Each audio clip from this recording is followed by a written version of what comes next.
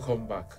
Like you know, I'm already running a series on healing, which I call Another Look at Healing. And this first segment, we're looking at hindrances to healing. What are the things that have stopped us from receiving our healing? Last Sunday, we looked at ignorance and the different facets of ignorance.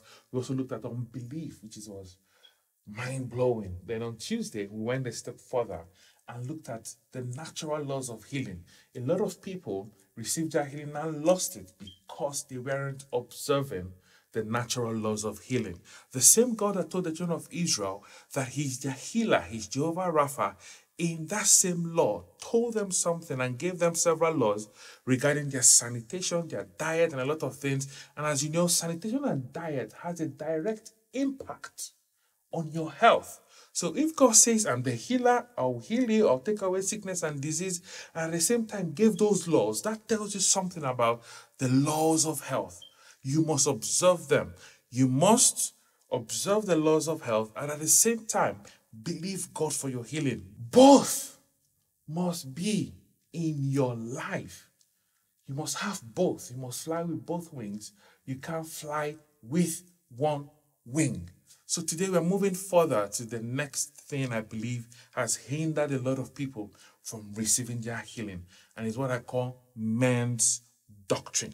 So we're going to invite the Holy Spirit, who is our teacher, to come teach us his word this evening. Holy Spirit, I ask that you speak to us this evening, that you teach us your word. Let it be plain, clear, simple to understand let it be written and coded on the fleshy parts of our heart, never to leave. This is my prayer today. I hide myself and I ask that you speak. I shut down my brain and I ask that you speak through my mouth. Use and possess me entirely to declare your word simply that everyone will grasp it this evening in the name of Jesus. Amen and amen. So, what do I mean by man's doctrines? There are a lot of man's doctrines that have stopped or hindered a lot of believers and non believers from receiving their healing. And the first one I'm going to talk about, which is very, very common in the believing circle, is what I call Paul's thorn in the flesh. A few months ago, I believe I did serious exposition on what Paul's thorn in the flesh is. So if you're watching this after the service, just click on the link on the top right corner. It will take you to that two part message, which I call Paul's thorn in the flesh. And you understand that Paul's thorn in the flesh has nothing to do with sickness or diseases. But we've thought that as one of the things that God gave to Paul to humble him that God gave him one sickness, that God gave him one um, sickness of the eye or disease of the eye. And that was what Paul was talking about there. That is not scriptural. It is nowhere in the scripture. So listen to that message in depth It's going to bless you.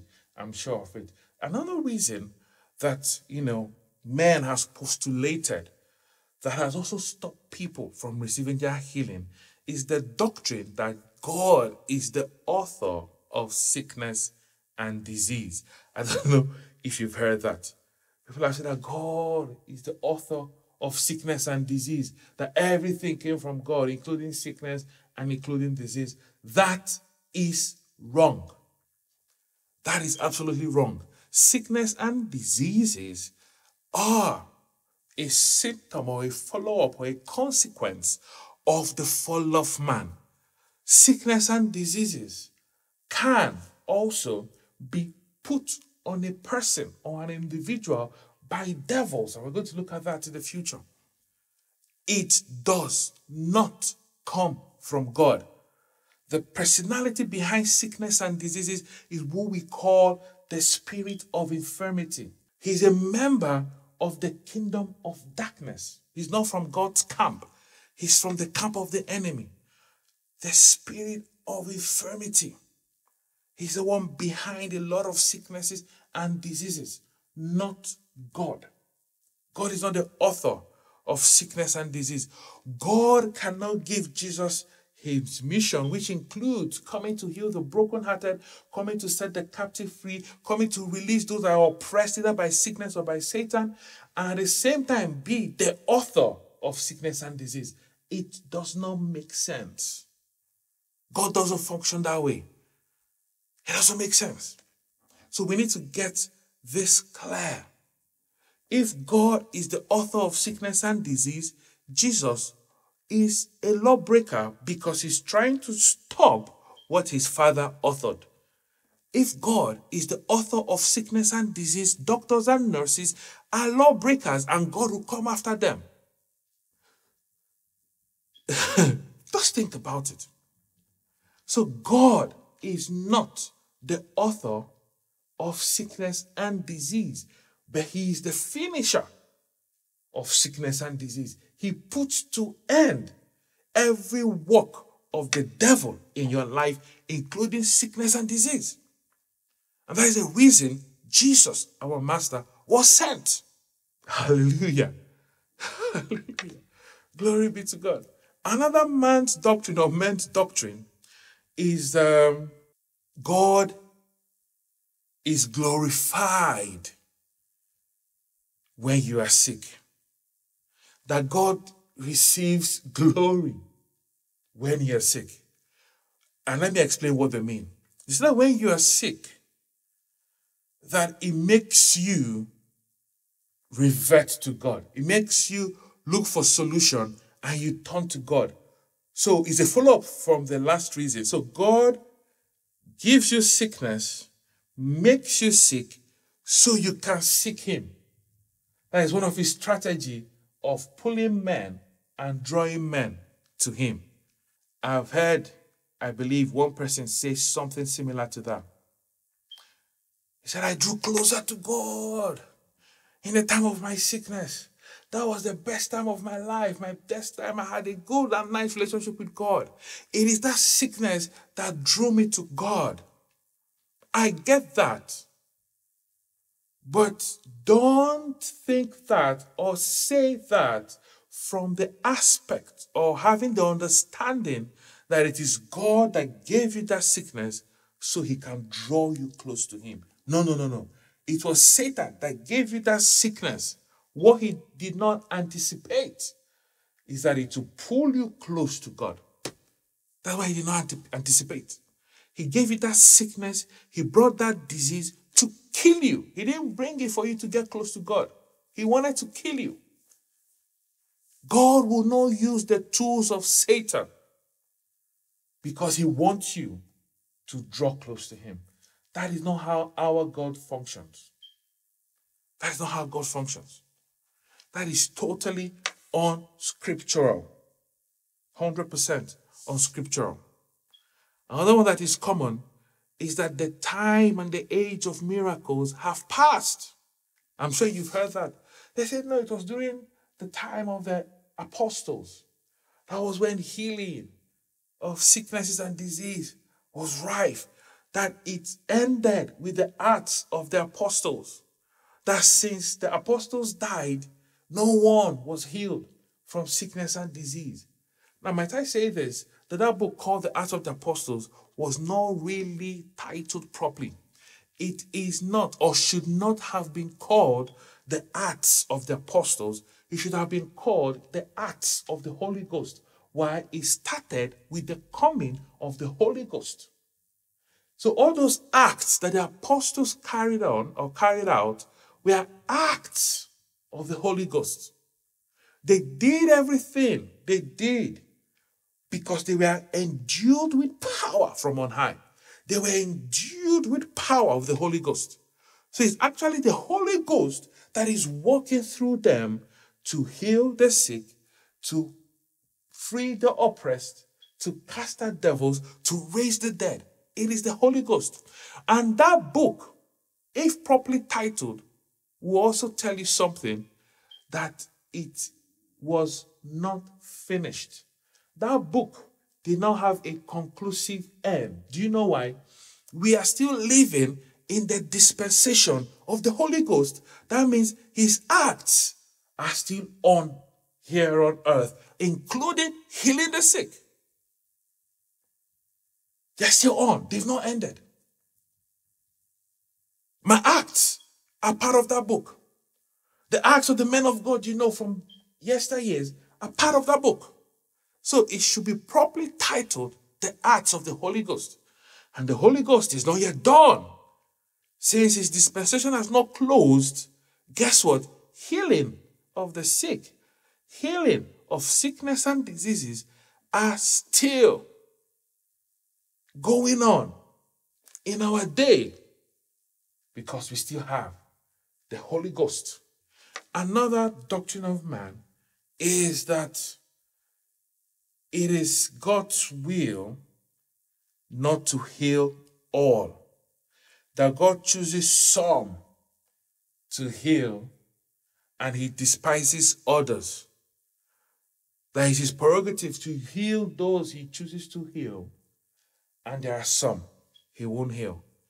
That is also not true. The Bible says that they brought people that were sick to Christ, and the Bible says that Jesus healed them all. You can read it. Um, the scripture is on the screen. He healed them all. All. It is God's will to heal all, not some, not a few. Is to heal all. One reason why you have not received your healing might be that you are not walking in faith. Because for you to receive anything from God, you must receive it by faith. So when you are still struggling with faith, don't conclude that you are not part of those that God wants to heal. You are. You are. Healing is the children's bread. Healing was baked for you. It was made for you. God wants to heal you. All he needs from you is that you step up by faith and receive that which he has provided for already for you. God wants to heal all, not some. And you are part of that all that God wants to heal today. And the final one under this subject of men's doctrine is the doctrine that Jesus healed the sick as the Son of God, not as a man. And that one doesn't make sense at all because the disciples, the apostles, healed the sick as well, and they were men. So saying that Jesus healed the sick as the Son of God and not as Son of Man doesn't hold water. The Bible tells us clearly in Philippians chapter 2 that Jesus discarded and left behind everything that made him God. Every part of his divinity was left back in heaven when he was born here by a woman, as a man, as a human being. He was a man. That's why he needed to pass through everything we humans pass through so he can become a better high priest for us now in heaven. So he healed the sick as a man, not as God. That's why he told his disciples in John chapter 5 that, see, as I see my Father do, so I do. So as the Son of Man, he will watch what his Father is doing, then he will step out here on earth by faith and execute the Father's will on earth. He says, My Father walketh hitherto I walk. He said that everything I do, it is my Father that is walking through me. The same way that when I step out to heal the sick, the same way when I pray for the sick this, this evening, it is the Holy Spirit, the Father, walking through me to you to heal you. It is the same thing. Is how Jesus operated. It was the Holy Spirit, the Father, walking through him to heal the sick.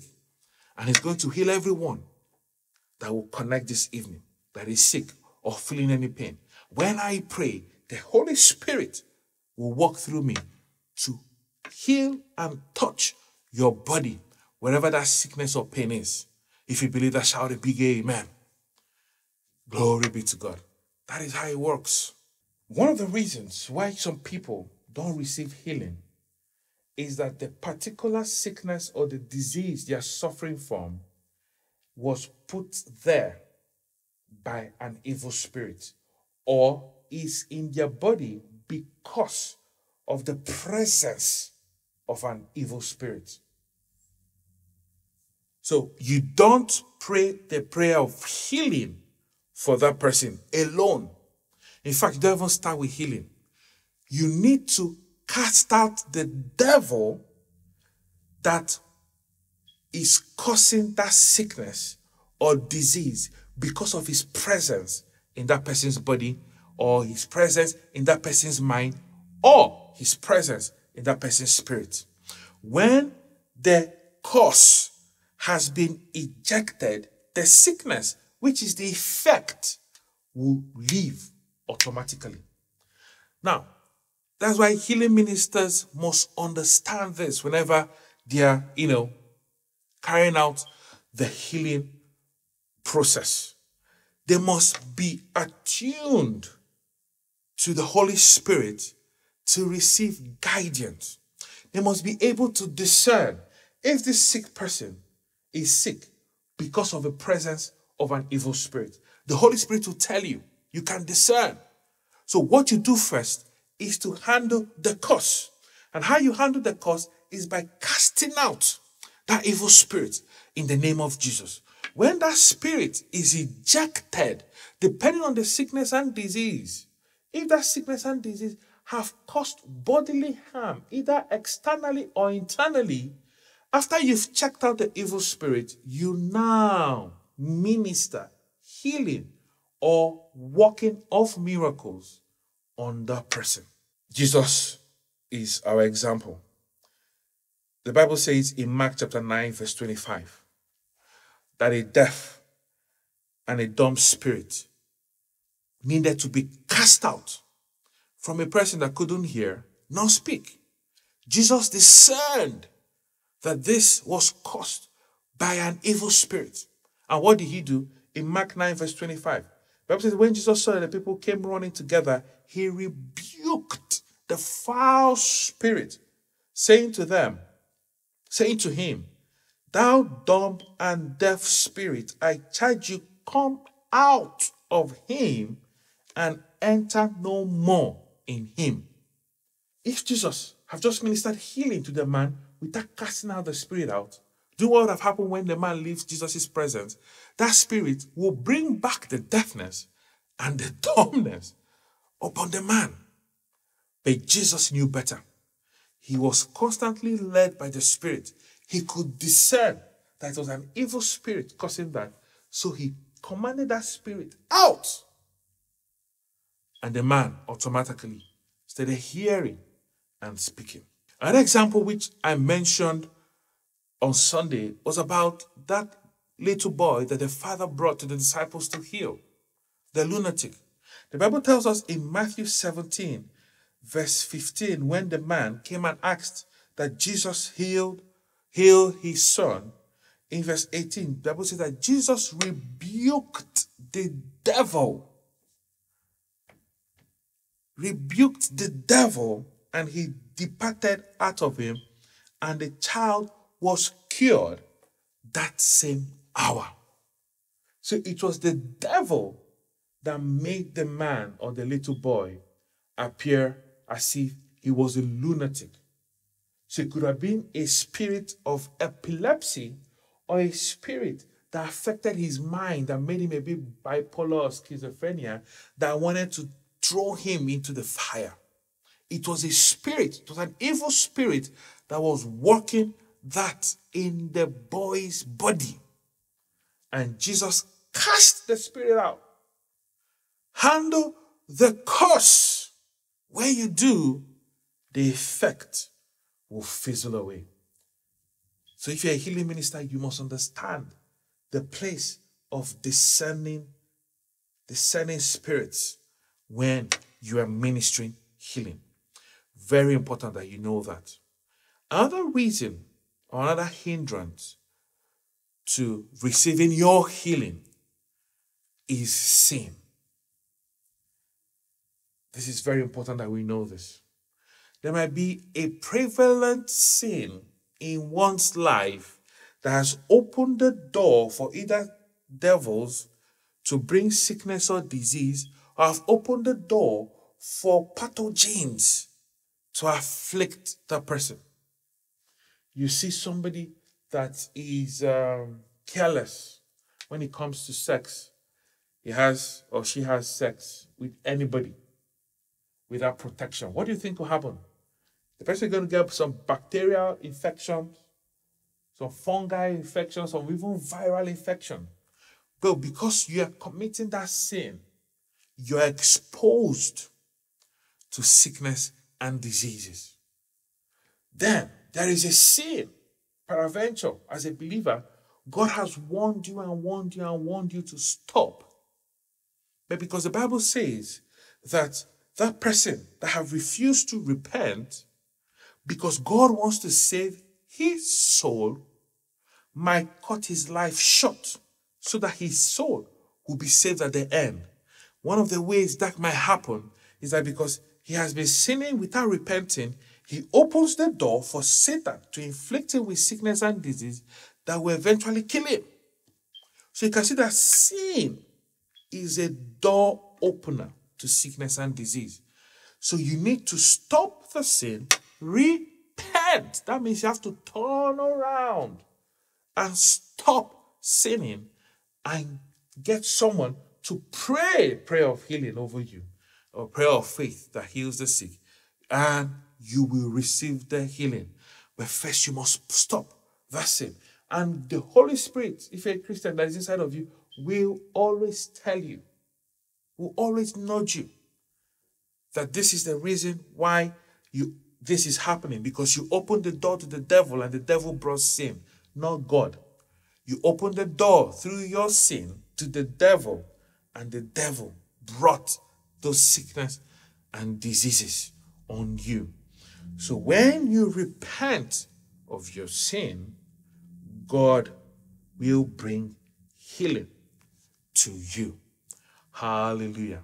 Another reason why people have not received their healing is that they have been unwilling to surrender to God. And this is especially for first unbelievers that have refused to accept Christ into their lives.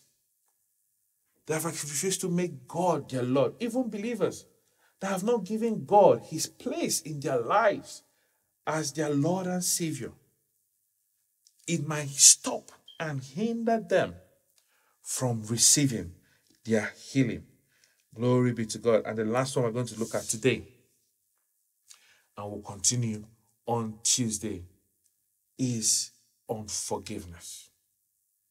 Oh, I wrote a book on this. You can get it on Amazon on forgiveness. On forgiveness. Sins of the heart. The Bible says that God will forgive you if you forgive your brethren. Say, forgive us our sins as we, as we forgive those who trespass against us. God will forgive you based on how you forgive another person. At times, when you hold someone down, you have this grudge against someone because of what they did to you. Again, it opens the door for the enemy. And because you have refused to forgive another, it becomes difficult based on God's word for him to forgive you, for him to heal you. So you must first take that step to release those that you're holding down, to forgive those that might have hurt you. When you forgive them, then any prayer of faith for healing prayed over you will work. And I can tell you many stories on that.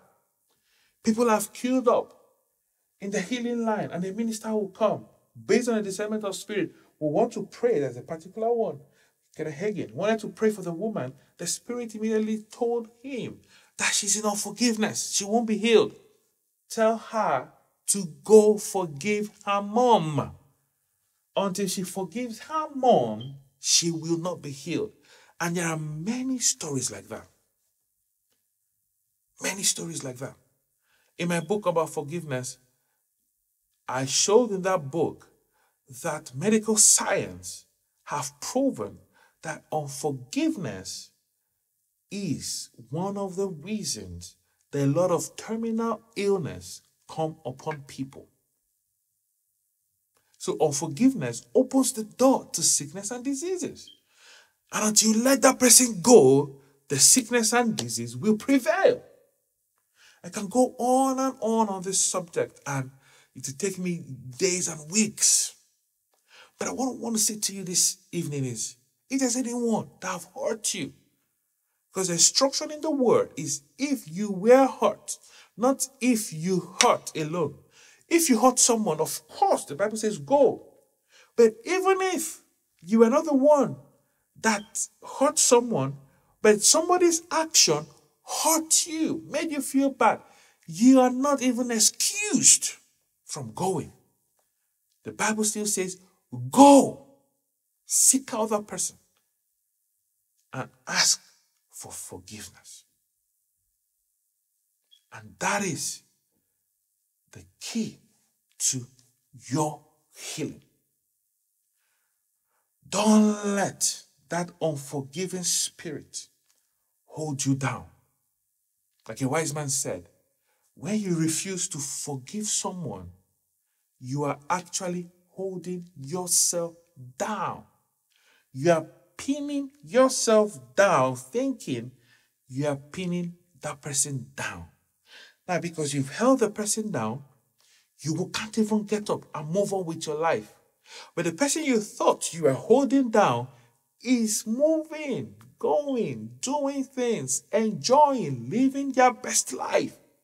But you are stuck at a place. I urge you this evening to release that person. When you release that person, you will be released from sicknesses and from diseases. And this is where I am today. Now, if you are listening to me and you are sick, or there's any pain, any part of your body, I'm going to command that foul spirit, you foul spirit of infirmity, causing that sickness, causing that disease, I command you now out from that person's body. In the name of Jesus, receive your healing now. Ought not this daughter, this son of God, be loosed from their infirmity.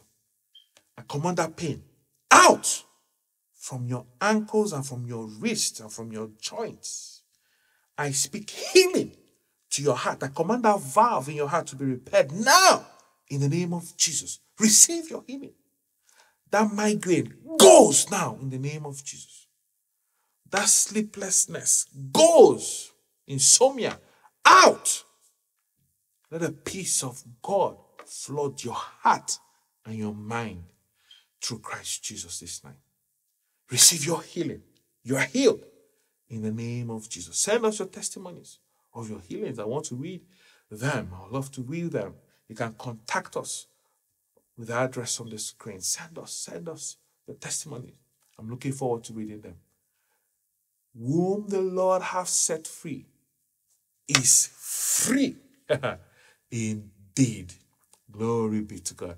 If you've got an offering, this is a time to give it. Father, bless those giving, increase them, expand them.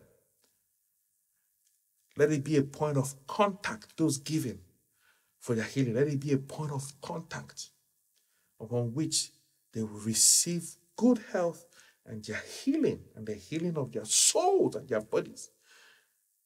As they stretch out the hand of faith, Lord, hold them by the hand and deliver their miracles to them. In the name of Jesus. Amen and amen. We are continuing on Tuesday, so don't miss it for anything. The details are on the screen. Go to that link, click, fill the form. You're going to get the link to the meeting. The meeting is held on Zoom, it's not public. And your life will not remain the same. Go back, listen to the messages on YouTube, catch up, like I told um, the people on Tuesday. It is a message you must download and listen to it continuously till God's word as regarding healing is formed in your heart and your souls and your mind. through Christ Jesus. I love you. Go succeed. Go prosper. For God is always with you. He will never leave you. He will never, ever, never forsake you. See you on Tuesday. Bye bye.